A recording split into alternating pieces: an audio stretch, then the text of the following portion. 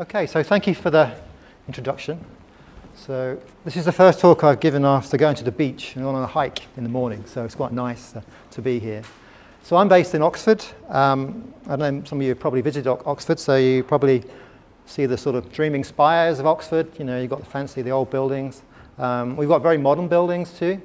I work in the Women's Centre, which is a moderately old building, 50 years old. It doesn't look like the old ones, and it's probably not in as good state as the old ones.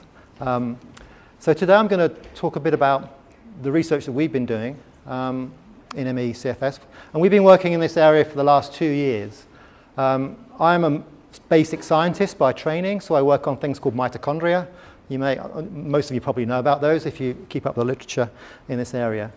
So I'm, I'm going to talk about the research, but I'm also going to give you a bit of background to the, what we need to do to get a drug in this illness? What do we need to do to get pharmaceutical companies interested in this? And things I'll just, just briefly go through because I think it's not always clear what, what we have to do as scientists uh, and, in general.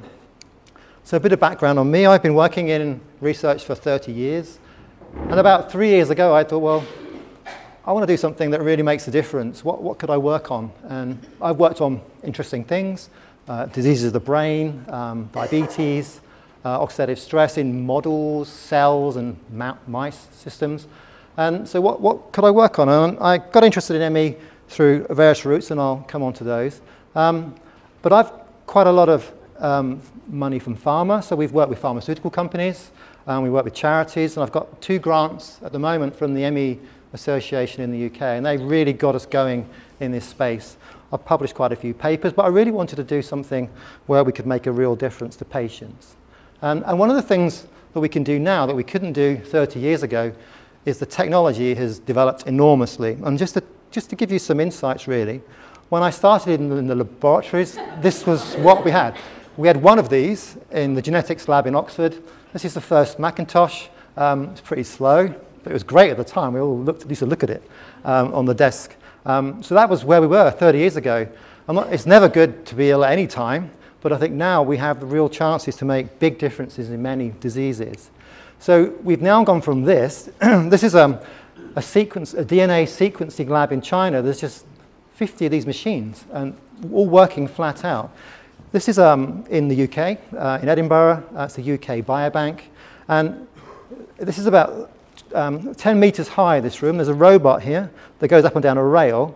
And this, in, in these different carriages, it's at minus 180 degrees, and there's all patient samples stored in here.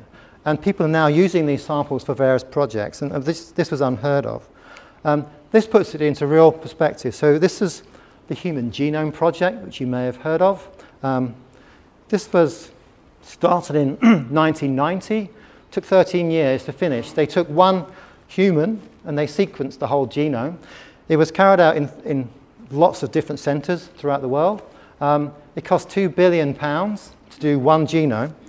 This is a recent UK project, the 100,000 Genomes project, and it took five years. Um, they sequenced 100,000 genomes. Uh, it was all done in the UK by the NHS. Um, and one genome sequence, this, takes 30 minutes to do and costs £600. So this is where we've come, and this is what we can do. And in the future, they plan to sequence a million sequences. Now, why is this important? Um, and what does it mean for people like you? Um, is that at the moment they focused on cancer and rare genetic diseases because they're easier to work out. You know, a complex thing like ME/CFS, Parkinson's, Alzheimer's, that's going to be much more complicated to work out. So they've focused, and, and, at the moment, if you look on the BBC website, there's a couple of reports of a couple of cases of, of kids with a rare condition from this DNA mutation they found, they can now treat them. Um, there's one quite remarkable case. So the next step is to look at more complex diseases. And what we need to do as researchers and uh, the wider community is to get our understanding of this illness up there with, with the things like Parkinson's and Alzheimer's. And then we may get the chance to get patients with ME/CFS sequenced through this process.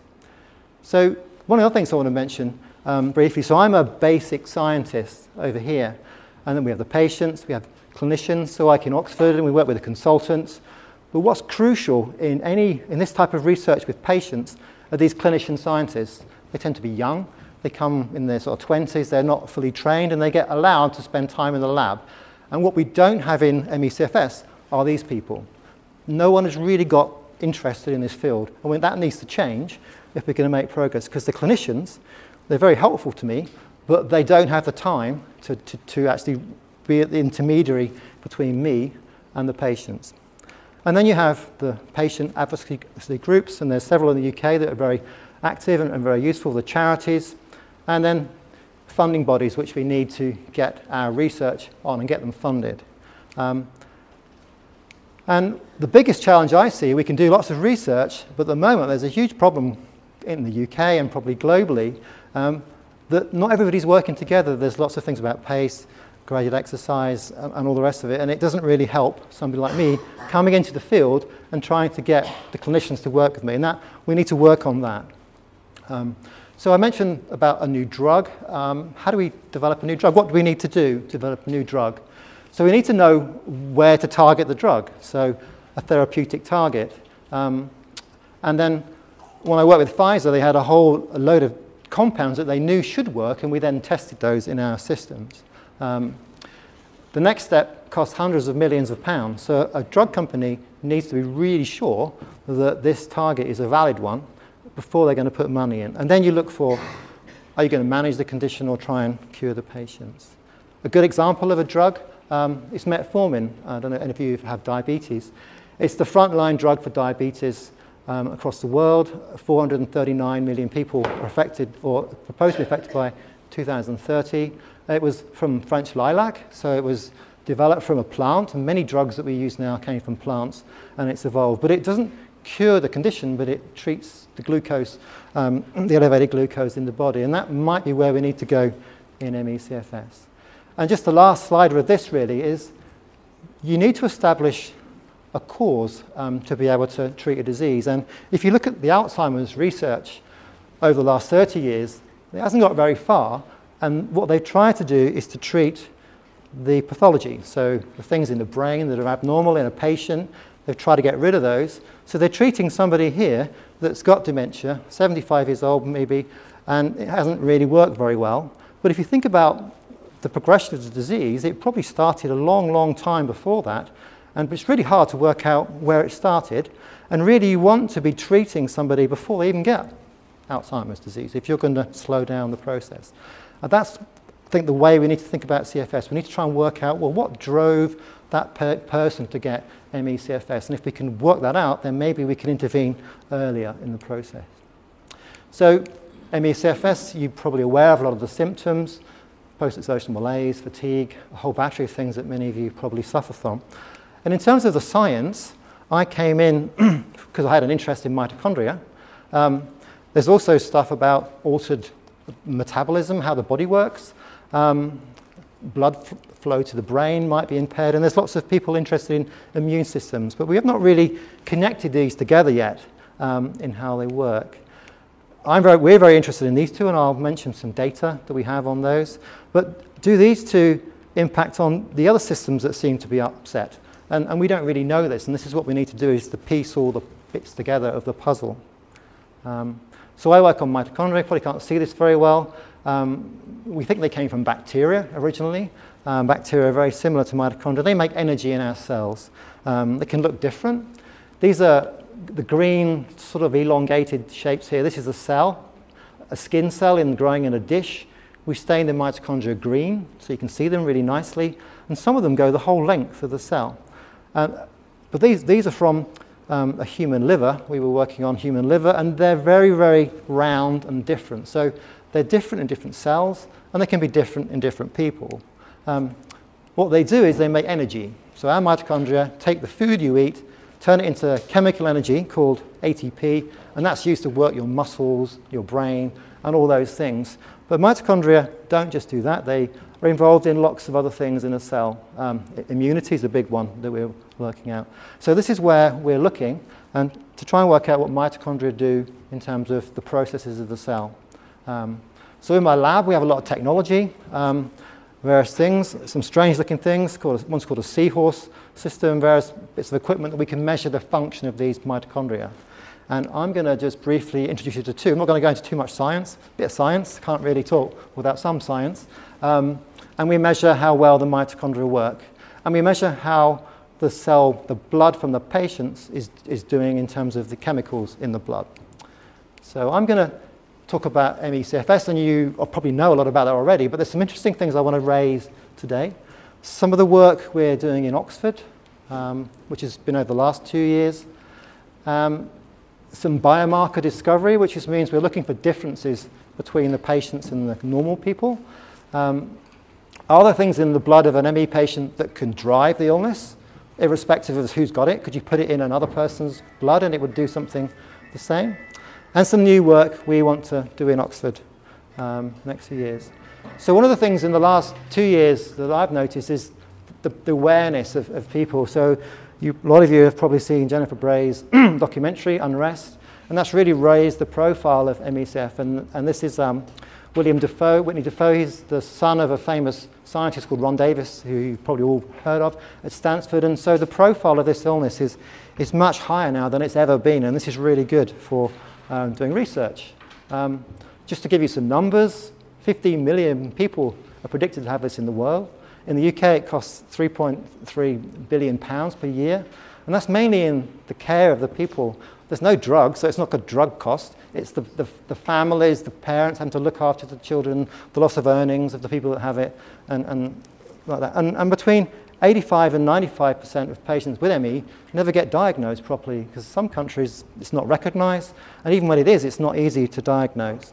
Um, the human cost. So I know this family very well.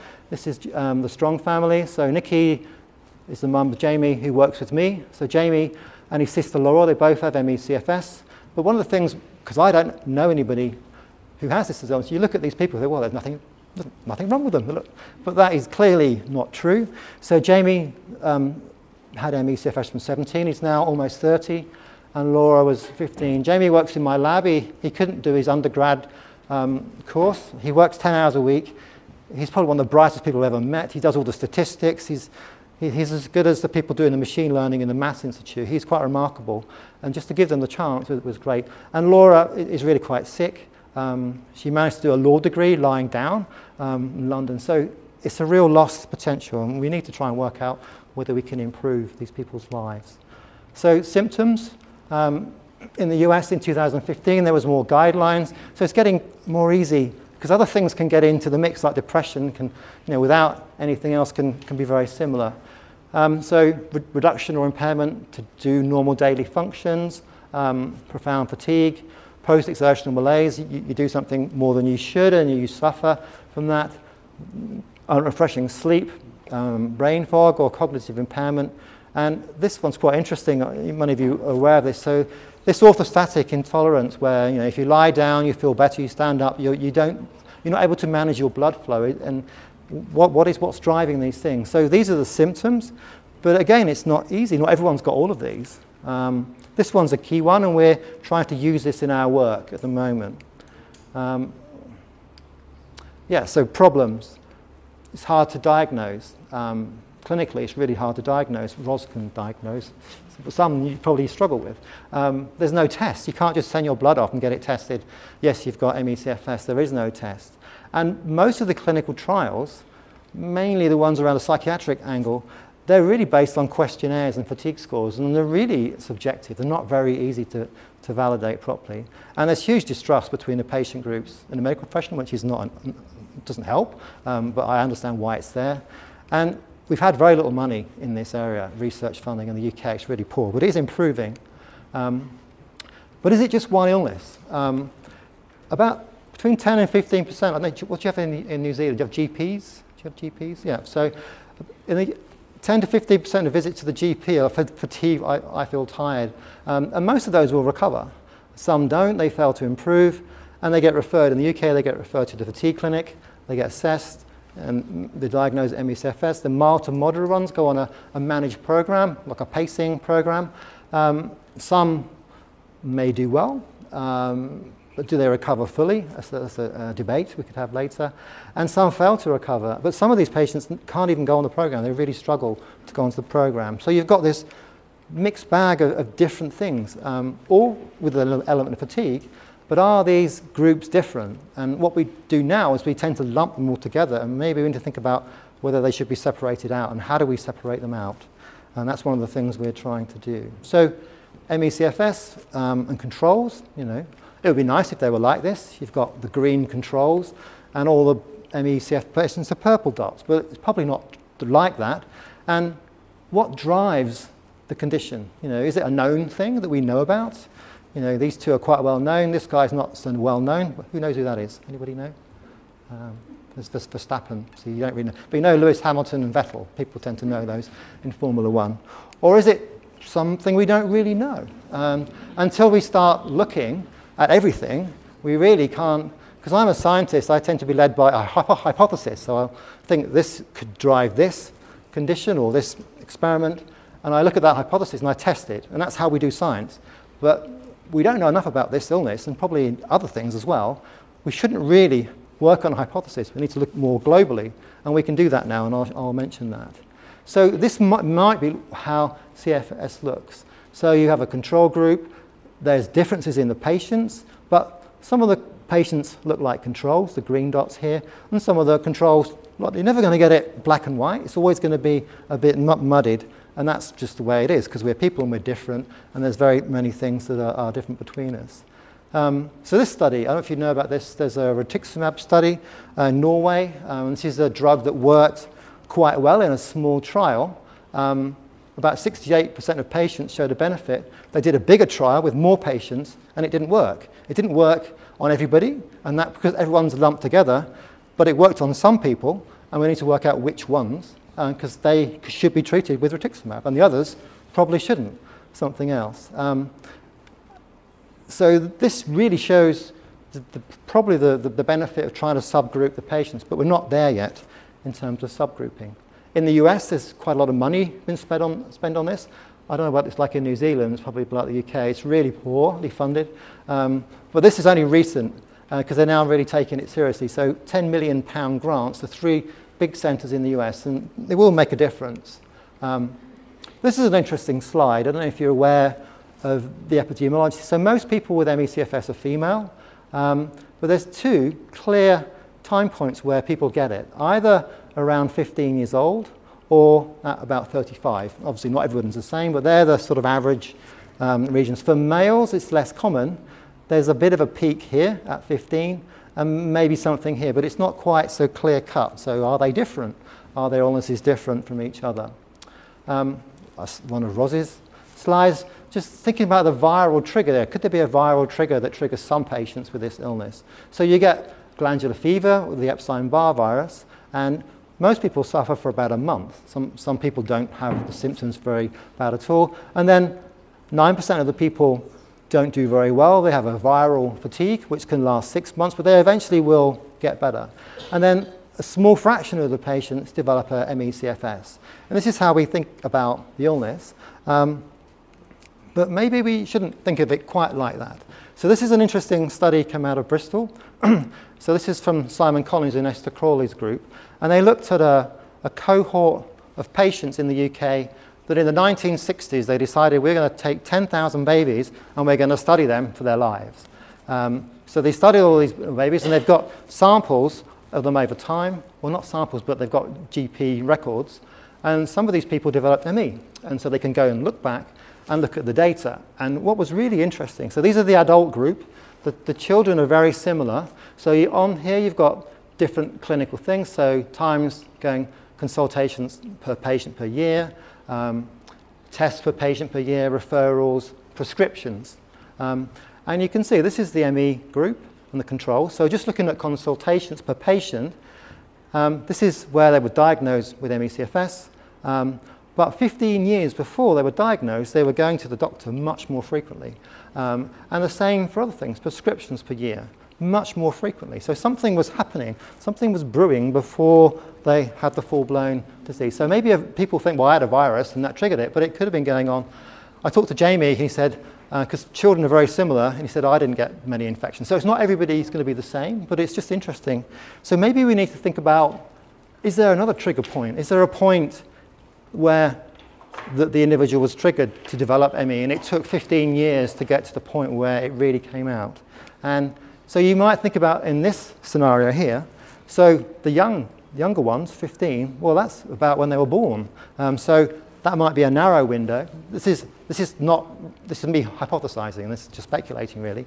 And whereas the ones at 35, maybe 15 years before that could be you know, around 20. So there may be different trigger points in the illness in these people. So, so how do we get involved in this? How do we get interested? Because it's not my area. So Norman Booth, some of you may have met, he sadly died last year. So Norman was an advocate for ME in Oxford, and he really championed it. And he, and he knocked on my door for about a year saying, you know about mitochondria. Can you look at ME CFS mitochondria? And I wasn't sure.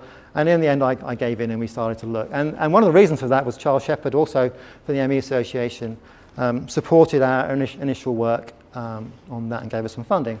And then I met Jamie. So I met Jamie at the first meeting I went to where I just talked about mitochondria. And he was really fascinated with the science, and he's been working with us for two years. And having somebody in my group that's got this is really quite sobering, and you don't forget what it's like to have it. Because he, he goes to meetings with us. Um, he came to one in Bristol, and he, he put a poster on, and I said, Are you sure you want to do this? Because I know how much effort that takes.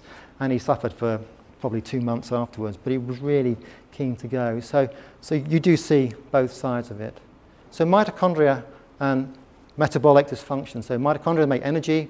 Metabolic dysfunction can be a whole bunch of things, and we don't really know what they all are, um, but we're looking for differences. And the first thing we were asked to look at was a test. So there's a company called Acumen in the UK. So Sarah Myhill, you may have heard of. So she advocates a test where you send your blood off to Acumen, uh, there's a guy called John McLaren, who I've met, nice guy. Um, he does a blood test. He takes the blood and he looks at the mitochondrial function. So you don't need to know too much about this slide, but this is a score of mitochondrial function. So the ones up here are very good, the ones down here are very bad. And then you've got um, the patients down here. And the controls, the black ones, the black spots, are all pretty good. And this is a paper that they published. They published three of these papers. Um, but there was a bit of debate as to whether this was a good test because it wasn't properly validated. Um, and patients were sending samples to this group and coming back and getting a diagnosis. And they were then going to the consultant at the hospital saying, I've got this test, and nobody really knew what to do with it. And, and some people saying, well, you, you try this and, this and that. But there was no real evidence that tr- trying these things would work. So we tried to look at the test. So what is a good test? Um, it needs to be robust. It needs to be, a, I need to be able to do it and other labs need to be able to do the test. It shouldn't be affected by processing. So if the blood sits around for a bit longer, it shouldn't really make any difference. Because if you think of these two tests, one is on li- liver function and one is on heart. So what we use for if, to check out somebody's liver, we look for things from the liver that come out of the liver into the blood. So you couldn't get a false result of somebody's liver failing very easily. And the same for a heart. So sometimes a heart attack, the heart is damaged, things come out. So these are quite clear cut tests, they've been validated very well. Whereas if you have a blood sample um, and you're looking at things in the blood sample, it's a living system. So in a blood sample, there are billions of cells. Those cells are all alive and they're all doing things. And could they have an impact on the results? So we looked at this um, on normal controls. So this is, um, don't worry too much, this is just different ways of making a blood taking blood, and then we measure the glucose concentration in the blood. So in our blood, we should have about five or six millimolar glucose. If you're diabetic, it will be higher than that. Um, so we start off at about five millimolar glucose here, and then over 24 hours, you can see the blood glucose drops really, really low. So you're down at one millimolar. All of the samples that get sent to this testing laboratory are at least 24 hours old. So what we're saying is that, that's okay to do that, but you need to know what's going on. And if a patient behaved differently to a control in 24 hours, then that could have an effect. So a blood in the, in the tube for that length of time could have an impact. Um, it affects glucose, but, but, what does glucose do to cells? And some of the cancer work we do um, is showing it can have a big effect. So just to briefly tell you what this is, and I'll explain a bit more. This big grey cloud are all the chemicals in a cell. So in the cloud, there's 17,000 chemicals in every cell, and we can measure those. And then we can ask the question, if I grow my cells on this much glucose, how do the chemicals compare to a cell grown on this much glucose? And the fact that they're all in different places means that the chemicals are very different. So having a blood tube at one millimolar glucose compared to five can have a huge effect on the chemicals in the cell. And that's just a, a, a point we raised. And we looked at the method that Acumen tried, and we looked at fresh blood. So we didn't want to use 24 hour samples. We looked at fresh blood. And together with Newcastle, who did the same experiments, we found that there was no difference in those blood samples. So we couldn't find a difference between ME/CFS neutrophils, um, which is a white blood cell, and controls when we did it this way, which is disappointing because it doesn't really support the data previously. But Newcastle have gone on and looked at the mitochondrial function um, specifically, which is different from the other tests. I won't go into details, but there was a difference. And I'm not showing the data, but you can find this online if you want to have a look. But there was a difference with this test, but not with the other tests. Um, but this is a more direct approach. Other things that we do in the lab is we look at um, cells from patients, white cells from the blood, and we work with the engineers, and they have a technique called Raman spectroscopy. You don't really need to know much about it. What we do is we shine a light on the cell, and we get some peaks. It's a bit like your barcode on your shopping. You know, you put your shopping through in Sainsbury's, you get a barcode. So we're getting a barcode for every patient. So when we look at the barcodes on all the patients, we compare them with each other. And we published a very small paper and we're doing more of these where we took five patient samples and five controls. We compared the barcodes, and these barcodes are really complicated. There's 1,500 of these peaks in, in each one. And then we asked the guys in maths who do machine learning, because they all work for the banks and they've got these huge computers, can you tell us which is which? So this is, a, this is the control group and the patients group. And is quite remarkably, they could tell us from the barcodes 98% accurately which was a patient, which was a control. And for a condition that has no diagnostic test, which was quite exciting. And we're now looking at another 50, 50 patients and controls to see whether they're different. Um, the other thing we've done with Oxford Brookes, which is the other university in Oxford, is we've looked at patients on a ketogenic diet. So there's a lot of interest about whether the patients have a problem with carbohydrates. So what we noticed when we put patients on a ketogenic diet and they did an exercise challenge they didn't really make any difference to their performance. So a patient on a ketogenic diet, they could exercise just the same as they did before. They were on a normal diet, but the controls were horrendous. They really couldn't cope. So there is something different, we think, with their ability to use glucose. And when they're on a ketones, they're, you know, they they work very, very well. Um, so that's something we're following up on.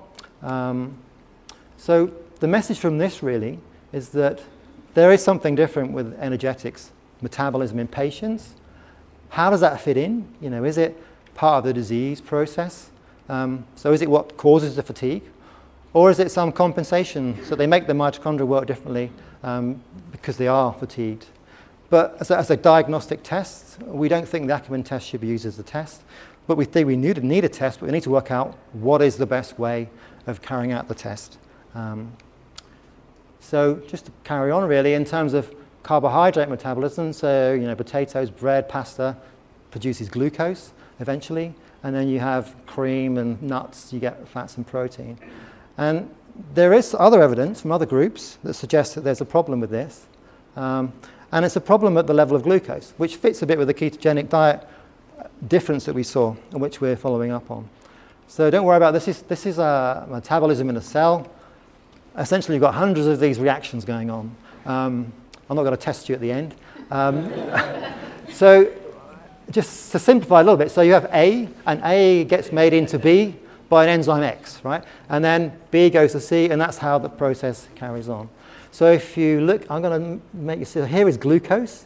So glucose goes through the cytoplasm of the cell, whoops, uh, and then this red box is the mitochondria. So that glucose gets taken to the mitochondria, and this is where most of the energy is made here. So if that glucose can't get in here, you're not going to make as much energy, and you'll have to use other fuels. You'll have to use the fat, because fats can come in around the side, and proteins can come in around the side. But glucose has to go that way. So if there's a problem here, and what these people here, so it was the Fluge paper, noticed that there was a potential problem with a bridge. There's a bridge, if you like, that goes across here and carries that pyruvate or glucose into the mitochondria. right amount of glucose? What's the problem?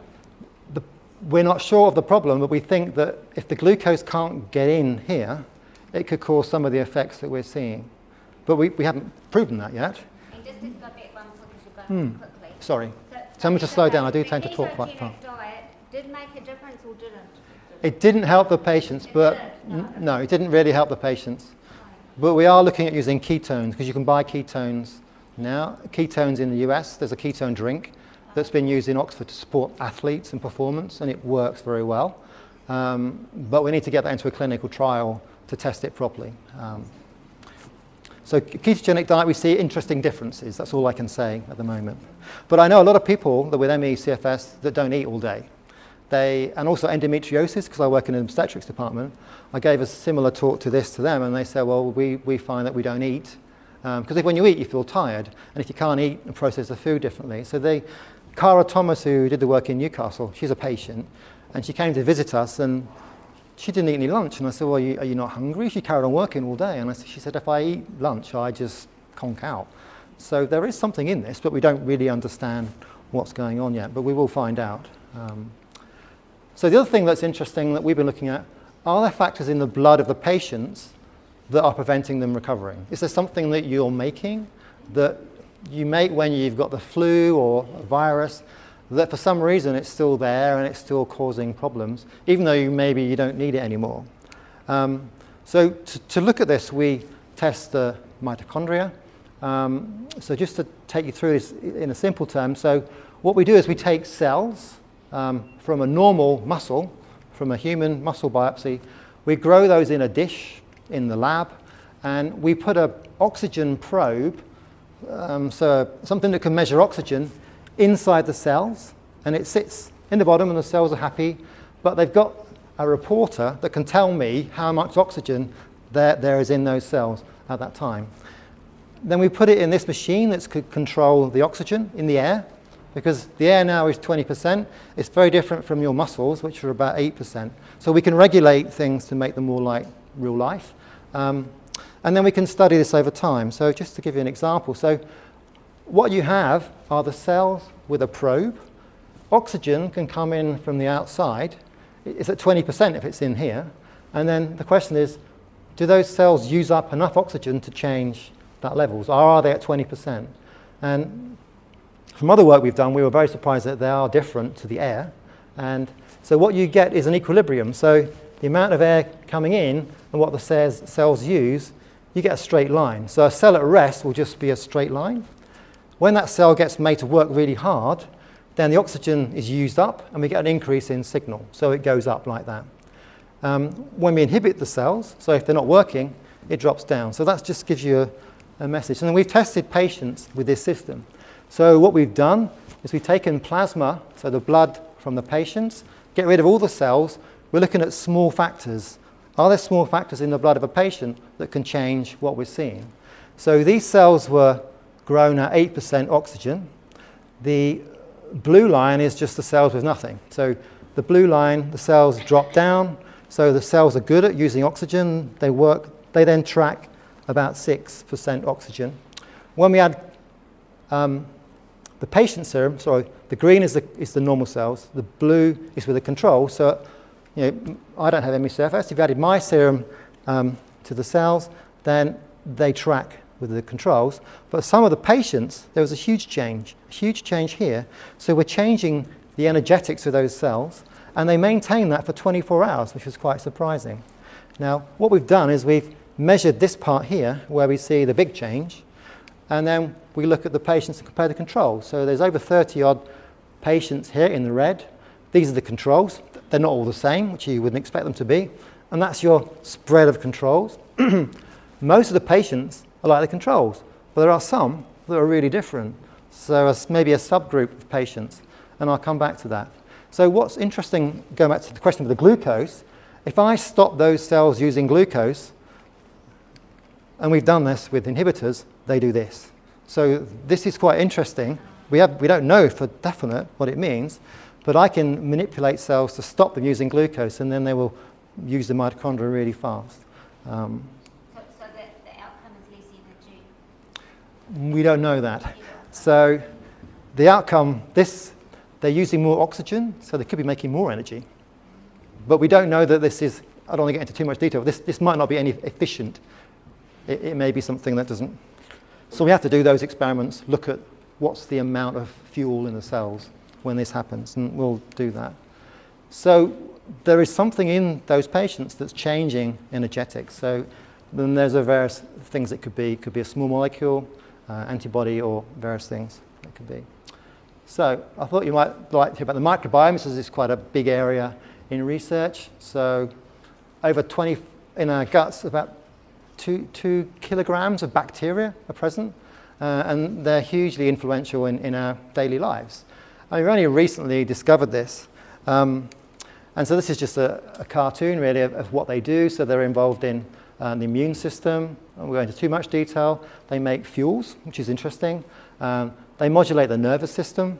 So these bacteria we thought just were there you know, for no particular reason have a real influence on our, on our, on our, on our function. Um, this is a paper from the Cornell group, just to give you some, some science. Again, so what they've done is they've measured the levels of a bacterial wall protein in the blood. And their sort of general thing from the paper is ME CFS patients have a leaky gut. So things leak from the gut into the patient and cause problems. So this is LPS, which is this bacterial cell wall. And you can see here, these are the controls. And some of the patients are very high. This is another thing in the blood, it's a marker. Um, again, some of the patients are very high. But you've got differences, and I think this is something I want you to take away, is that they're not all ME CFS patients are the same. Some patients have, yeah, they've got more bacterial, but these ones don't. So they could be very different in what's going on. And the other thing that they showed in this paper was that the amount of bacteria in an ME CFS patient's gut was very narrow compared to the controls. We don't know what that means, but we know they were different and they were narrow in the number of bacteria that were there. The other thing we know that there was no huge inflammatory response. So there's no mass inflammation going on in the patients. Otherwise, this thing called C-reactive protein would be really high. But there is a low level inflammation, and that could be linked to the, to the illness. So I did some work with a, a private clinic, actually, which was really quite fun. So Julian Kenyon runs a clinic called the Dove Clinic. He treats patients with ME/CFS. He treats cancer patients are end stage. He does things quite differently from medicine in the UK, if you like.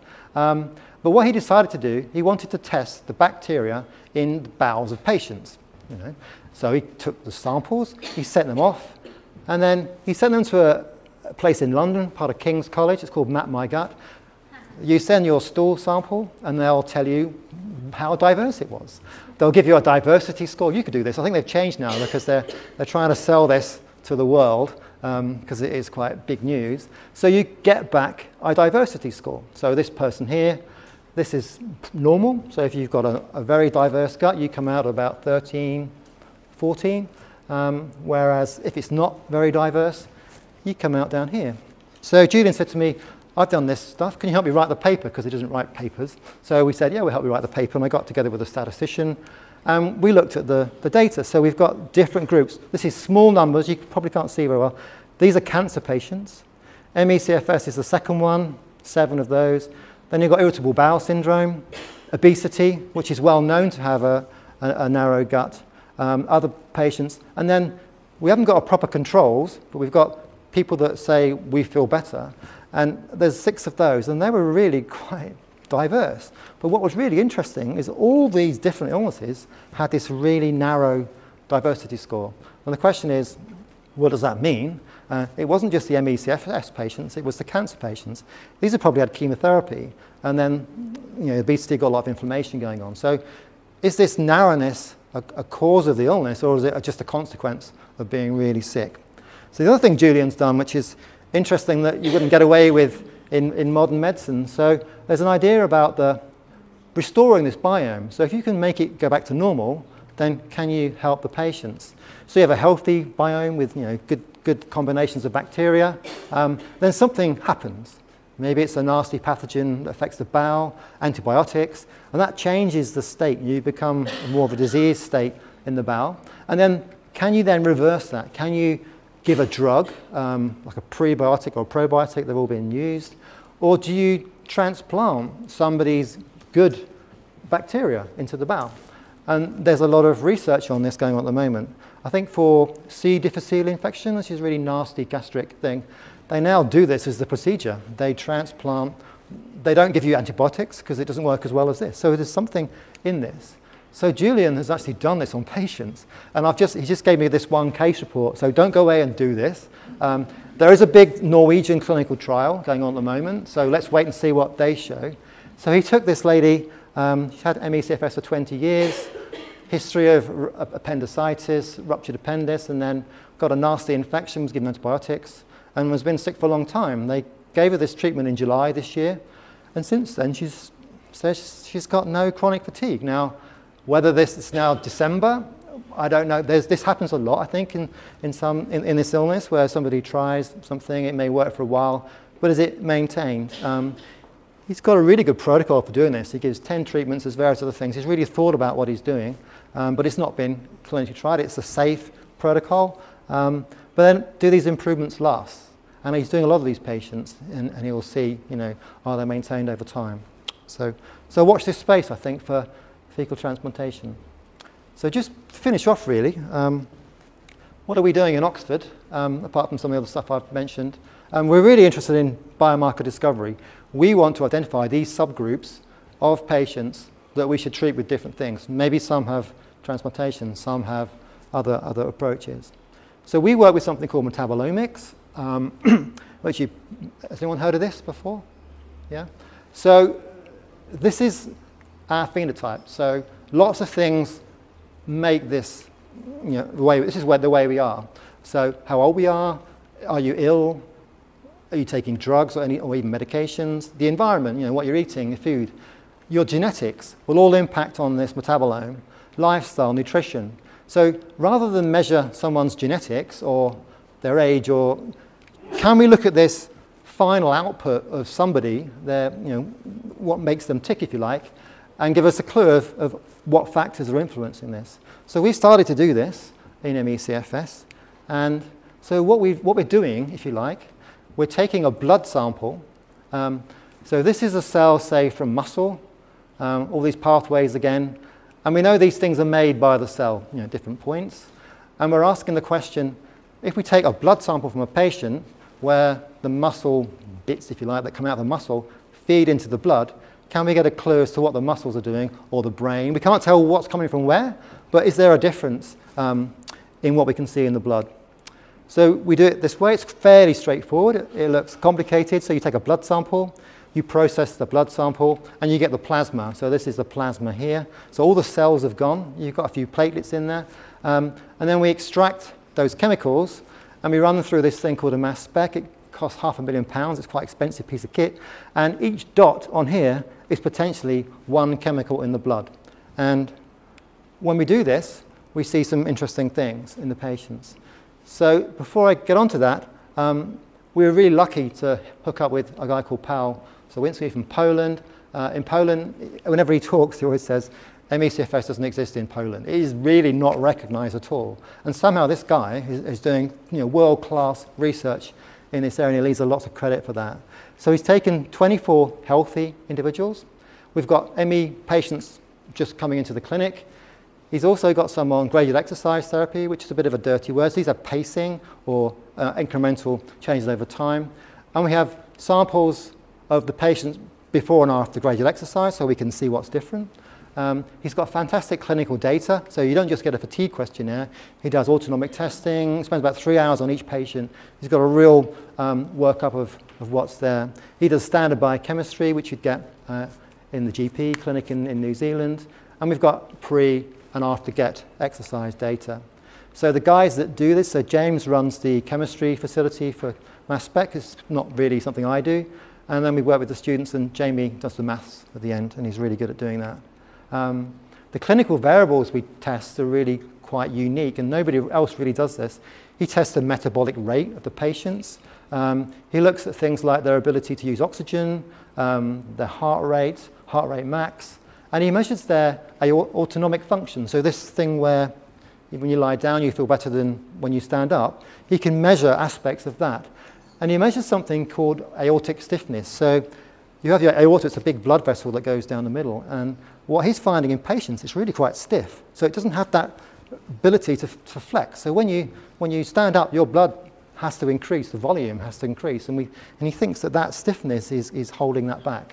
So that's something he measures, and I'll show you some data on that later. So what do we get with the plasma? We pick up 37,000 metabolites on each patient, so this is a huge amount of data to, to go through. Um, we think around 11,000 of those are different, because of different tests. 5% we know what they are, and unfortunately, but we'll find out, 95% of them we don't know what they are. So these are unknowns um, that could be relevant. And so this is a comparison um, of patients to controls. So what we do, we take those 11,000 compounds and we say, are there compounds in the patients that can separate the two groups? And this is looking at all 33,000. And you can see that we're starting to see separation. So the green ones are over here, and the blue ones over here, the patients. So there are things in that data set that are separating that. So then what we then do is to say, if we take out the most important ones, do they then separate them out? And they clearly separate them out. So there are things in a blood sample of a patient that are different from the controls. And so this could be a diagnostic test. However, we don't know whether this is a fatigue thing or yet. Now, these are known. So unfortunately, most of the things that we find, we don't know. You can't read this, but um, the ones in pink go down, the ones in green go up. Um, some go up a bit, but the next slide really shows the, the, the dots. You can see that again. So again, these are two. Glutamine is a fuel. So glutamine is an amino acid. It can be a fuel. It's very low in patients. Now, is that because they're using it because they can't use other things? Um, so it's quite low, but not everybody. Glutamic acid, you don't normally find it in the blood. It's really high in some of the patients, really, really high. If, if it was that high in the brain, that would be a real problem because this is an, an, an antagonist. So we're looking at blood here, but we tend to look, want to look at brain fluid as well to see whether there could be. But again, look at these. There's these ones here, they look just like controls. So again, they're not all the same. These are really interesting. These are our unknowns. Um, you don't have to be, you can probably step from the back. These are the controls. These are the, just, this is two million times. So there's real big differences in some of these unknowns that we need to work out. Are they important? And then B, what are they? Um, so just to summarize this data, we can see differences between the patients and controls. And when we look at our data for the knowns, it supports other people's, which is always nice that you can do something that has already been shown. Graded exercise does not change these patterns. So there's an argument in MECFS is that well, they're different because they don't do very much. And some of these people did eight months and they really cranked up their exercise, and that doesn't change any of these metabolites. So there, there is something different about them that exercise. Um, but most are unknown, and we need to find out what they are. Um, so what are we going to do next? Just the last five minutes, really. Um, and I want to talk about something called an intervention study, because it's fine taking a control and a healthy, or a patient um, and healthy controls, but can we make somebody change their profile? So what you're trying to do in intervention study is to hopefully improve somebody but that may be unlikely, but maybe can we make somebody a little bit worse, not too worse, and see what changes? Because at the moment we have 500 compounds that could be important, but which ones are the ones to go for? Um, so we do this in a small study. So we're looking to find a couple of patients, you know, 30 patients, two or three that show a clinical change or a biomarker response to something that we think could be important. And then when we do that, we do a bigger cohort and we pick out those people with those profiles to do that um, in larger studies. Um, so you have an intervention and you're trying to upset the balance, either in a good way or in a bad way, to see whether we can tease out what's important. So I put this slide in because it really annoyed me. Does anybody follow rugby? Probably some of you follow rugby. Uh, so we were robbed at Twickenham in, in November with that last try that should have been a try, without a video ref. this is the try we really scored a, it's always nice to run over the All Blacks. You don't do it very often, um, but we did this this one time. Um, and then professional sportsmen, a lot of them go into these ice baths. So they go into a bath, um, and it helps inflammation in muscles. Um, and it's a common thing that these elite athletes do. I'm not saying we should put, I know ME/CFS patients have this overload, they wouldn't want to put them in an ice bath. However, the Polish group have been doing some really exciting work um, with whole body cryostimulation. And my son thought this was preservation today when he talked about this to me. But so what we're trying to do is stimulate the patients by going in extreme cold. And there is evidence that this can impact on the immune system. It can change inflammation. And it can change this autonomic, autonomic function. And there is data, if you look in the literature, mainly from Polish studies, but in Poland it's quite a, a thing they use in the clinic for other, other conditions. So because in Poland, as Paul says, it doesn't exist in Poland, we have to give him the money to do this. So Julia Newton and I dug into our savings and gave him enough money, Julia most of it. So Julia gave him enough money um, to run the clinical study, and I took the samples and managed to find enough money to run them in Oxford. Um, and that's what we're going to do. Um, so the patients go into this um, system for uh, 10, 10 sessions, extreme cold. Um, they get assessed before, assessed afterwards, and then there's a follow-up. Um, so it's a minus 120 degrees centigrade. It's really cold, three minutes, but they really like it. 100% of them come back. It's not like graded exercise where only 50% come back. So it, they, they like going in. You know, when you go out in the cold sometimes and you feel refreshed, invigorated, that cold air is good. They, they really like doing it. And the data is amazing. Um, now, whether this is going to be can, carried on, so this just took two examples. This is the Chalder fatigue scale, which people don't like very much, but if you have a, a high number, it means you're not fatigued. So patients tend to have a low level. So normal is more, um, sorry, that's wrong way around. If you have a high level, you're fatigued, and a, and a low level, um, you're normal. So this is the, patient, the patient group, pre-treatment, pretty high levels of fatigue. And post-treatment, they're pretty down. And one month after, they're still low. Um, We've got a 12 month follow up coming in January, so we'll see what they look like after 12 months. It's just this one batch of 10. So you could imagine if this is something that could be done, you could do batches over time uh, and maybe. So how many treatments did they have? Sorry 10. So 10, 10 days, um, but just one batch. Three minutes. Yeah, three minutes each time. And then they've gone off, and this is a, a month after. This is interesting. So this is so we have lots of clinical variables, and this is the stiffness of the aorta, and it definitely goes down. Again, big error bar, so not everybody is changing, but not everybody has autonomic dysfunction. So we need to tease out the data. Um, so where are we with what we're doing? This is a bit of a house here. There's some flowers, but really, it doesn't really, and it's not easy to put it all together. Um, you know, it's not a nice cottage, which we know it is when you know what it is. Um, so we need to try and piece things together and work out what's important. So what we're planning is a big study. So before I came away, I was frantically trying to write a grant application, and I've left it in the careful hands of my team. Hopefully, in the four weeks I'm in New Zealand, I'm going to come back. It'll be like the fairies have left it on the desk. Because um, we've got to submit it on the 16th of January, which doesn't give us much time after Christmas. So it's 1.6 million pounds, which you might say, wow, that's a lot. But we worked out the day, um, there's a guy called Raheem, Raheem Sterling, pays for Man City. You might watch this video, I'll get in trouble. Um, he gets £300,000 a week so this is only five weeks of his wages. Um, so if you put that into context, it's not much really, and it's going to employ about five people over four years um, and do some good science. So just to break it down, we've already got 250 samples from the UK Biobank. So these are controls, subgroups of ME/CFS, so mild, moderates, and severes, 50 of each. And also, what's really important are other fatigue groups. So we have a multiple sclerosis cohort, and we've just run all the metabolomics. So that last set was 24 patients. This is 250, so it's going to take us a while to sort out. So we'll, we are going to apply for money to do the data analysis on these samples. We've got a cohort from the US.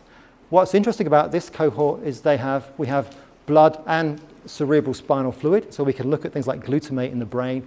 What are the differences in the brain? And no one's really done that before. Um, we also have other, other groups with fatigue, so lymphoma patients, my mother-in-law had lymphoma and she really suffered. The fatigue was the worst thing for her. But not everybody has that with lymphoma. Um, so we're going to look at a cohort there. Mitochondrial disease, this is the classic mitochondrial disease cohort we have in Oxford. They get very bad fatigue and they have mitochondrial dysfunction. So are, are their metabolites in the blood different? Um, we're going to do a long-term study. Not one sample, but we take four samples over a year we do testing at different times because people go up and down. You, you, know, you go up and down. So when somebody goes up, what changes? Which of those 500 things is improving? And we, and we need to work that out. Um, interventions, I've already mentioned Powell's cryo study. We have a cohort from Sussex where they did exercise, two exercise tests.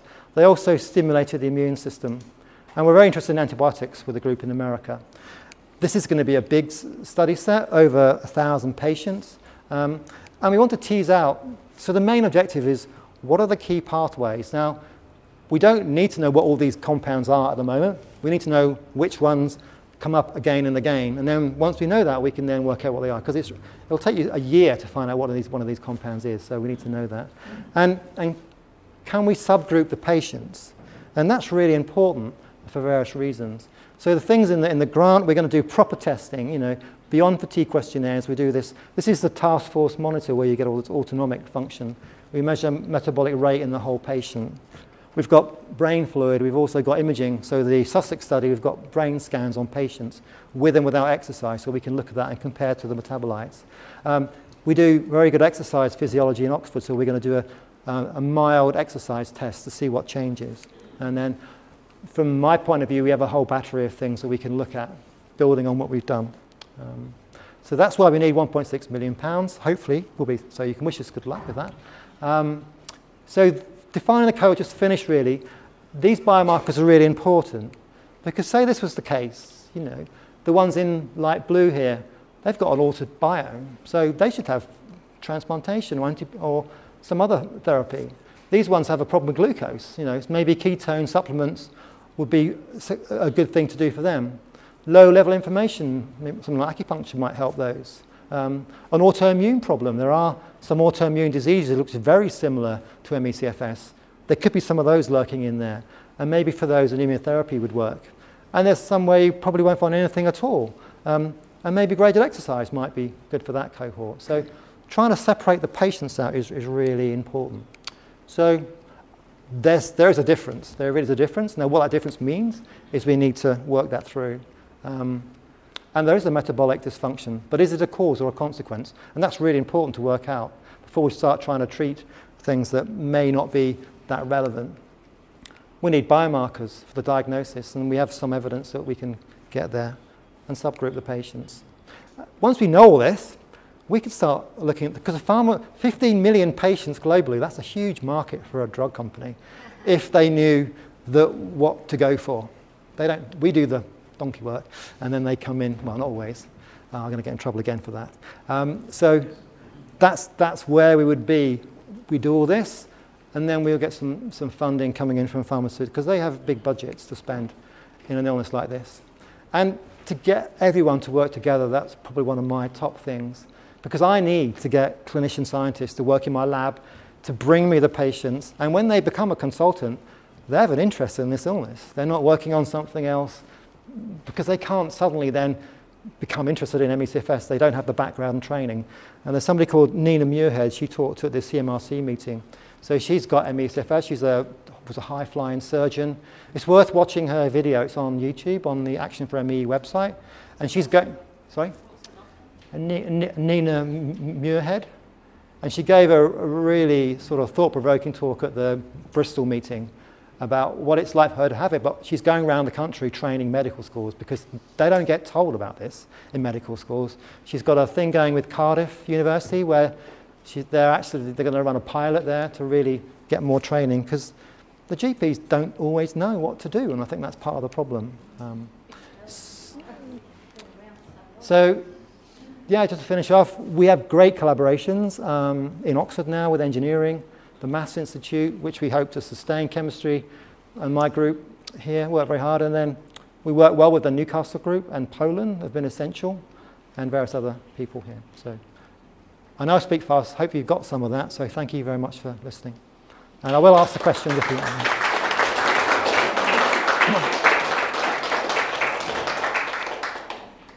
Have you got time for a break before you ask me questions? no, start. I, am happy. Yeah, yeah, sure. Yep, yep, sure. No questions. Oh, um, yeah, the lady over there. Hi, yes.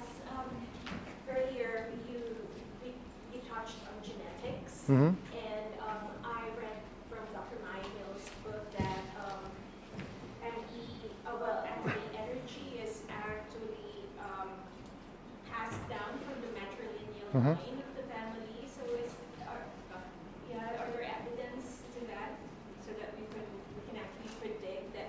Sure. ME/CFS can be passed down on the mother's side of the family? Yeah, so, so the group in Newcastle, um, so Julia Newton's group, so the person you should look up is Jo Elson. So Jo Elson has just published, trying to get a paper published, and I've heard her talk about this. So she's looked at the mitochondrial genome, so the genetics of the mitochondria, and she compared um, mitochondrial, the genome in patients in the UK and in South Africa. She has a, there are no um, what we would say pathological mutations. I spent 10 years working on mitochondrial diseases, so we know what a catastrophic, catastrophic change would be. But she has a program that predicted mild to moderate changes. So she ran that program on the patients, and what was really not she, surprising was that the ME patients had better mitochondria than the controls in both studies. So there isn't anything wrong with the mitochondria uh, in terms of energy. I don't want to confuse everybody, but but there is, there's an interesting idea, and we're looking at this at the moment. So, um, so there's a guy in America uh, called Philip West who basically found that if you have bad mitochondria in a mouse, though not too bad, but you know the mouse, the mice run around, there's nothing really wrong with their energetics. Those mice were really good at dealing with a virus, so having suboptimal mitochondria. So I'm wondering whether could ME patients have mitochondria that are too good in certain scenarios. Um, so antivirals, some patients take antivirals and say they work well for them, some say they have no effect. An antiviral will dampen down your mitochondrial function. So it's interesting. So there's no clear evidence that the, the energetics is compromised um, at the mitochondrial level, but there is a problem with, um, let's go back, because I always get nice questions with you guys. Uh, not, not nasty, but quite complicated. So,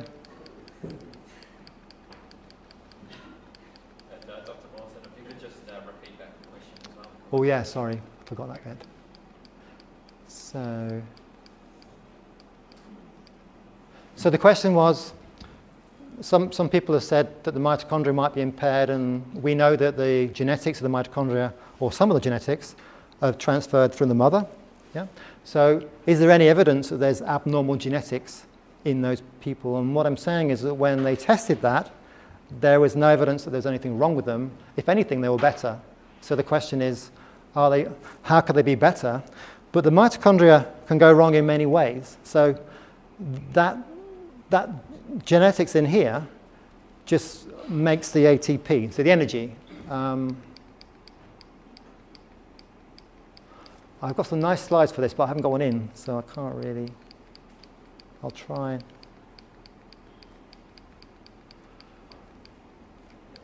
Yeah, so this ATP is linked to that DNA that you have. That, that ATP is down here. So this is your mitochondria, it makes ATP. But that ATP production is only as good as the fuel. So if you don't put any petrol in your car, you might have a fantastic engine, but it won't work very well. So there could be a problem with the mitochondria, but it doesn't have to be in the mitochondrial DNA. It could be the fuel. So if the glucose can't get in for some reason, that would cause exactly the same thing as having a problem with the genetics. So, um, yeah. Sorry, um, over the back there. So realistically, what can we do to help ourselves get better? Can you tell me that? It's one million dollar, million package.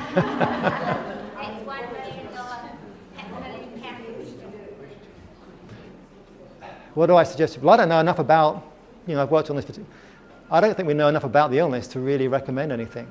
Um, you know, people try things. Some people say antibiotic, or anti, um, I know people's magnesium, things like that, but there's no evidence for any of these things. So unless we get some evidence that they work, the rituximab study, you know, didn't work on everybody. So I can't tell you what you should do because I don't know about you. You know, I can't tell somebody over there. It might be completely different for that person over there what I would say to them. So unless I know more about what makes you have ME/CFS, it's a really hard thing to predict. Um, so I think just watch this space for these clinical trials. So they will be coming through. I think the microbiome is a really exciting one because I've never seen anything like that. That, that is really, but then was that just a one-off case? We need to do more of that. Um, yeah. Um, you know, Mr. Oh, yeah. ME literature. Mhm. I just wondered, are you aware of that product? Or? Yeah, so NAD is again made in the mitochondria. Um, so the chap asked about NAD. Can we boost NAD? Um, so it's a vitamin B complex, B12 I think is NAD. Um, so you use a- NAD, it's involved in lots of processes. Um, it's not easy to measure. So, and also, we- we're taking a bit of a leap of faith to measure blood in a patient because the white cells in your blood, they're not active at the time we take them. You know, you're not fighting an infection um, with the blood, otherwise you'd be in a real mess.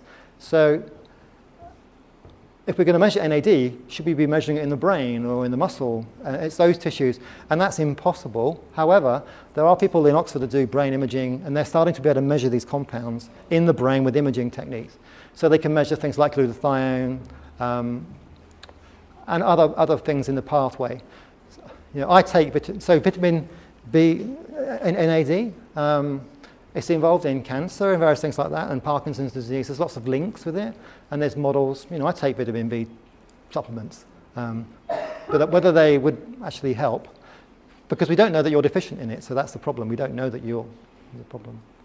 Uh, Yeah. I just ask, um, the, the study that you did on, on the muscle, on the cells. on the cells, Yeah. muscle cells, and the input of oxygen, hmm um, when there was fatigue and pain in the muscle, was there any long-term effect on the muscle?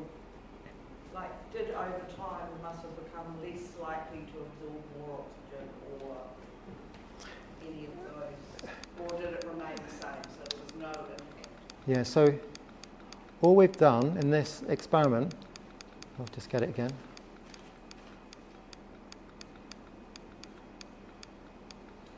So, so these are norm, these are normal muscles. So these are a muscle from me. Say these are control muscle. So we've not tested patients' muscle. I know other people have. So other people have tested patients' muscles and shown there's a difference in the cells. So all we've done is we've taken normal muscle and we've added the blood from the patient. So we've taken the plasma from the patients. So we can't really say anything about the patient. We've looked a little bit. Um, so these people here, we've tried to look at is there anything about their clinical profile that makes them different? And there really isn't anything that makes them stand out. So we're just all we're saying is that there is something in the plasma of, say, this patient here that has a major influence on a normal muscle in a dish. So the question then is, what's that doing to that person's muscle? Um, we don't have that information. No, no. So, um, um, maybe I'll go to this chapter. Yeah. Just a question on this oxygen consumption. Yeah. Uh, In your previous slide, you mentioned about the low oxygen sats for people, for people with uh, ME and CFS. And I was just thinking that uh, whether or not the hyperbaric treatment would, Mhm. would help people with that, with that problem. Good question. So the question is, if ME patients are struggling with oxygen because it's not high enough, if you put them in a high oxygen environment like a hyperbaric chamber, would that improve function? And the guys in Poland are actually doing this. So the Polish group are testing, because again in Poland these hyperbaric chambers are really popular, um, but no one's done those tests yet. So it could help, um, but we don't, we don't know the, da- the data, but they're doing it now. Um, no, no, not on ME/CFS. In other, in other diseases, that they, they use those chambers and they can be quite effective. Um, so it, it could be for some people, it might, might help, but let's see. But we, what we can do now is we can get all that information. So we, they'll do a hyperbaric, we'll run these experiments on the same samples. We'll do that, look at all the different chemicals in the blood on the same samples. So you can start to put the jigsaw together of the puzzle. Because if you just put all the patients in a hyperbaric chamber and three work, you wouldn't know why they work for those three and not the rest of them. So we need to try and put it all together, really. thing. Uh, who hasn't asked the question yet? Yeah, this lady here. So. Could you go back to the slide with the loaf of bread? Oh, yeah. Was that before? Yes. Yeah. So, could you just repeat what you said on the next slide?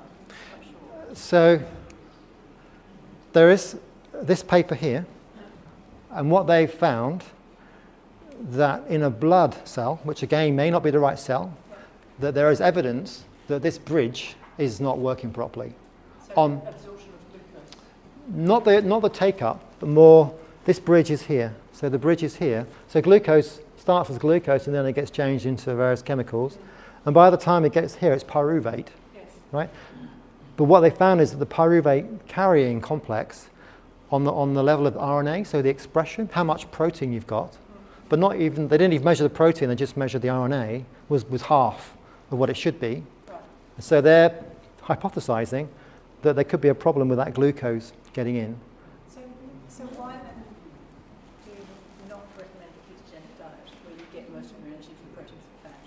You could try it, um, but it's not something I can really, there's no, So there's been no studies. no studies, no, no. Or have there? No, there, I think there has in ME/CFS, but it didn't really help. Um, but again, it's looking at everybody. I think there is a small. There are some. If anybody knows, I think there is a small study on ketogenic diet. It, it works brilliant. So it works. A ketogenic diet in patients with a deficiency, kids with a pyruvate dehydrogenase deficiency, works really well in controlling their epilepsy because you bypass that thing. So, and I think there's there's other other things as well. You did, you did say that there was a CFS patients and, and controls in terms of how well they coped with exercise on only ketogenic diet. Is that right? Yeah, they just did better. So they didn't do any worse. So, so the, the difference was that the patients had the same outputs, wh- whether, whether, whereas the controls, we've done some other studies, but I haven't put them in because they're confusing. Whereas we find that the patients produce more CO2 than the controls, but it's a small cohort. But what that means is, is another question. Um, it's just these are two smaller studies to really put together, I think, at the moment. Um, ketogenic diet, we want to try ketones. We'd like to try ketone supplements. You can buy them in the US. Um, they sell beta hydroxybutyrate, it's called Delta G. You could buy some. Um, can get it online. I'm not advocating that you should, um, but you can. It's about 90 pounds for a day's course, so it's not something we could sustain. But it's something that, as a drug, the, the health service, you know, what do they spend on immunotherapy, these chemotherapy drugs? Spend hundreds of thousands of pounds. So as a patient, you, but they need to, we need to try it in a, in a really easy thing to do to test it. I know people that have taken those supplements and they say it improved their symptoms. They weren't better, but their legs were better in terms of they felt they could walk better, their cognitive function, but that's one person. So, um, um, yep. I just wanted to ask, you say that Newcastle is doing research. Is that Newcastle University or Newcastle Hospital? Um, they're sort of both together now. New- Newcastle University and Hospital. I've got a, a cousin whose granddaughter Yep. um, has an extreme mitochondria. Right. She's 16, she's been in there, in and out. Newcastle is the only hospital in the whole of the UK hmm deals with the, the very, very rare genetic disease. And that's why, and they've just discovered the same thing in her 15-year-old sister. Oh, right. Okay. So the diagnosis is they haven't got long to live. Right. Um, and I wanted to know, you know, that being as Newcastle is the only place in, in the UK hmm that could treat them, um, give them some quality of life, but they're losing use Mm. limbs hmm in constant epileptic fits all day Sure. blind, everything else. And I wanted to know if that was the university or the hospital. So, so they're sort of interlinked now. So University of Newcastle will be the same. So Doug Turnbull runs a mitochondrial unit. So there's a big unit. But there, we have one in Oxford. So you'll get treatment for mitochondrial disease in, in, the, in the Children's Hospital in London, Great Ormond Street, in Oxford, all the centres, but there really isn't any good treatments. That's the problem. They're both teenagers. Yeah. So they don't fall under No. So there's a couple of drugs that work a bit, but there isn't really anything. The thing they're doing in Newcastle, they're trying to stop babies being born. So there's this triple parent idea where they where they, they do that to try and prevent. Um, but in terms of the treatment, it's it's not a very nice um, condition. The, the interesting thing is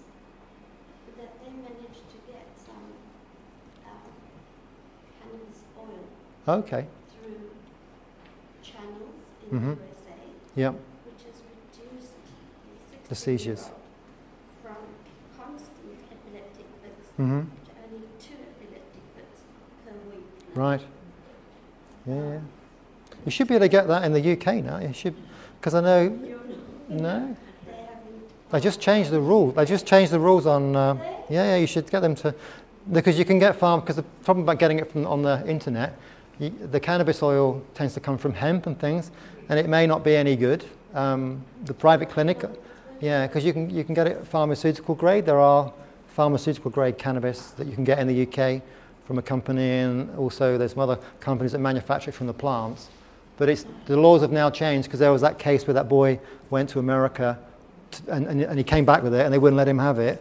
And then he had multiple seizures, and so they've definitely changed the rules, particularly for that they should be able to get it. Yeah, yeah, yeah. That will change and you'll be able to get that, but that's Mhm. for palliative. Sure. Mm. You can thank you. Um, maybe this lady here. Is there any understanding or link that you're aware of between um, chronic syndrome and multiple chemical sensitivities or like allergy reaction, hmm the histamine response? Like, where does that link in? Because I don't really understand how that. Do you know much about that? Yeah, I think for the, the chemical response, no one's really done the studies, but I know someone that works on Gulf War syndrome.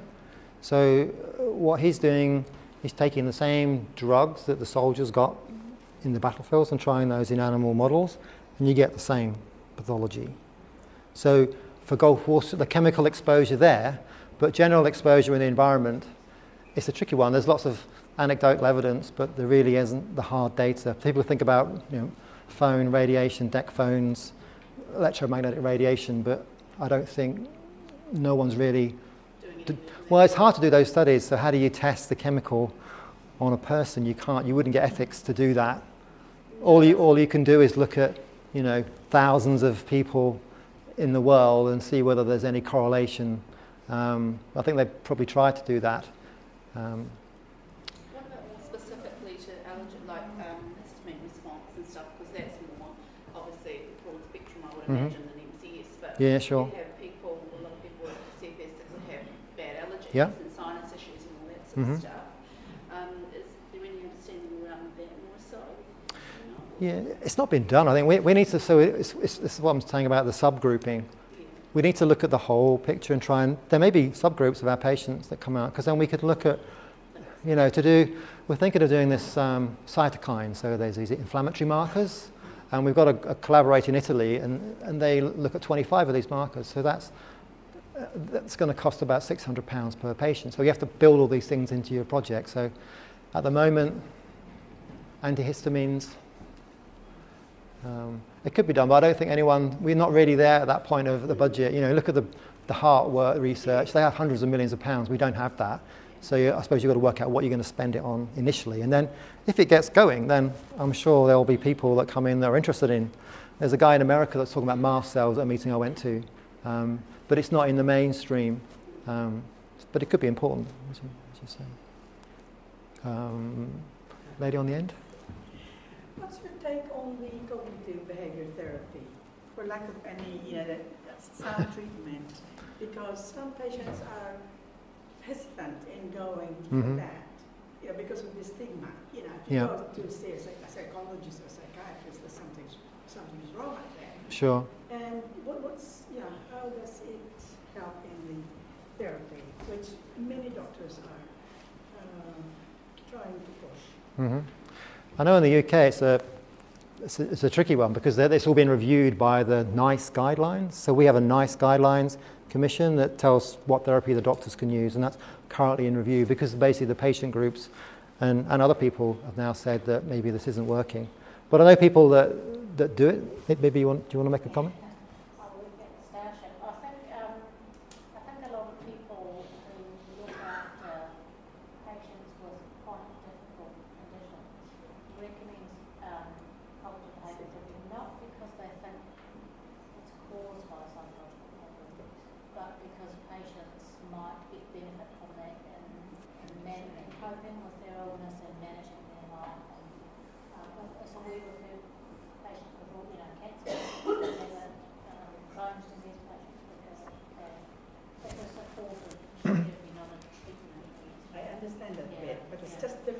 get a patient to go Mm. because of Yes. the, you know, the It's- impact. Yeah. This that is attached to it. That's just the, you know, difficulty. Mm. Yeah, thank you. But we don't know the chemical changes.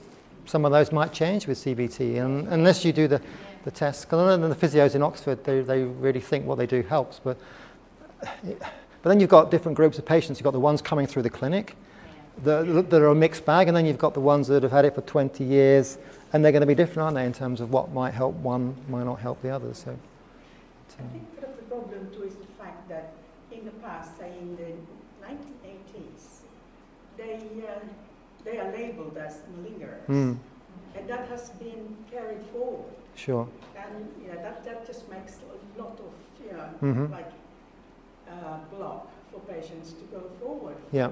Even just psychotherapy, you know, maybe one or two sessions. Because we don't know how the brain affects us, do we? You know, you've probably got no conscious control of it. Um, And there's quite a strong link between the gut microbiome and the brain. yeah, yeah, yeah. Absolutely, yes. And there's also finding now that uh, there's brain inflammation going on. Hmm. So it may be related to the gut. Yeah, I know the guys in America uh, that, that, that yeah, but it needs a bigger, bigger thing. Yeah. Okay, uh, one on the end. Oh, sorry, the guy with the beard there. Yeah, I'm, I'm um, about three, four things that sort of come out of this, and I'm just wondering what I've kind of flipped on onto. You were talking about um, first of all, you said that that um, in terms of fighting viruses, that sort of a suboptimal energy producing mitochondria work better than the sort of. Yep. And, and secondly, you, you talked about um, the pyruvate not being able to get in and feed the mitochondria. So if one way to make a, you also said that, that if you if you make you can make a good mitochondria look like Mhm. a sort of suboptimal one by just choking off the energy coming in. Yep. And then you talked about this metabolic switch. Um, so is this, is this idea of the metabolic switch that the gene that controls uh, whatever it is, the pyruvate change that allows it to get into the Mhm. mitochondria, so you've got a gene controlling an en- producing an enzyme that makes that happen. Sure. If that gene gets turned off, then that doesn't get in. So is that what, what, is that what the metabolic switch is all about? About making that gene gets turned off so that we choke off the energy supply so that Sure. the mitochondria works suboptimally and it helps us, gives us a better chance against the viral infection. Yeah, so the study with the metabolic switch Yeah. was at the, at the gene level. So that was the gene effect. So you're right, there, there could be a change there. Um, the way that the viral thing seems to work, it's more around the, the DNA that the mitochondria make. So you could nob- nobble somebody's mitochondria, and it wouldn't necessarily make them better dealing with infection with a virus. What you have to do to the mitochondria is to change their structure. And what they then do is they, essentially, the mitochondria, when you get infected with a virus, chuck out DNA into the cell. And then that DNA activates pathways. Um, so just by infecting their energy wouldn't necessarily do that. It seems to be that process of throwing out the DNA. Does the virus get into the mitochondria? No, but we think it's the, it's the cell DNA. So, no, so it's quite an interesting paper this guy, Philip West, wrote that the mitochondrial DNA gets out of the, of the mitochondria and then is involved in that cell's response to the virus. So we used to think that the, say, the herpes virus or whatever would be the thing that triggered these pathways. But now it looks like the mitochondrial DNA can also trigger these pathways. Um, so that's only in the last couple of years um, that that goes on. So there could be a problem in some cells um, that they don't get rid of infection very well, but in other cells it may make no difference. This is me speculating a bit about the, the, the, the viral effects. But the bridge, this bridge here, there was a gen- genetic change in the white cells that could, but then how does that equate to the, the other, the bigger tissues? You know, was that change in the brain as well? Or was it just in the, in the blood cell? Until we can do that, until we can work on the right tissues, it's really hard to know what some of this blood work means. So the plasma, if you like, is sampling everything in the patient, everything. Uh, and what we try and avoid is the blood having an impact. Because I know if I leave that blood for too long, I'm looking at the blood and not the patient. And that's what we need to be careful of. Um, who hasn't asked a question? You've asked a question. Any new questioners down the end there? Um, Um, just an observation from having met a lot of people with CFS over the last few years is that a lot of them who think they have CFS end up getting another diagnosis. So we see a lot of actually have EDS instead of Mhm. And you look at uh, Jen Brea, who's in the Unrest movie you mentioned. Recently, she's got a whole new diagnosis for a neurological condition, Yeah. which probably certainly circumstance that. Um, has there been any studies which have taken people who supposedly had CFS, but then they really interrogated, looked hard for a differential diagnosis, Yeah. and measured some sort of rate of people who were misdiagnosed Mhm. with CFS? So the study that's doing that is the one in the NIH. So they're taking small numbers, 30 patients, and they look they study them for weeks. And I think you're right. That's what they're thinking is that there are things in there that are different that they can diagnose from those people. And then if they can diagnose them, then you may be able to do something about them. So there's there's comorbidities in there. Um, but then we don't know what CFS is, do we? We know what the final symptoms are, but we don't know what drives it. So, um, just reminds me of your slide of all the dogs in the different subgroups. I mean, maybe Yep. studies have a lot more explanatory Yeah. power if you can really well, that's right. interrogate a sample and say who really has CFS versus Sure. who else or what is But, but you need a good test that you can. That, that, that NIH study, you know, some, bringing somebody to hospital for six weeks over years costs millions. So is, is there an, an easier way to get that information without bringing them in? So hopefully we're going to test their samples. So we'll test their samples and then hopefully we'll be able to maybe interrogate, you know, from their clinical data, what profile fits with this and that. Um, okay. Okay. Well, unfortunately, we have to finish there. Um, but please join me in thanking Karl for an excellent uh, presentation.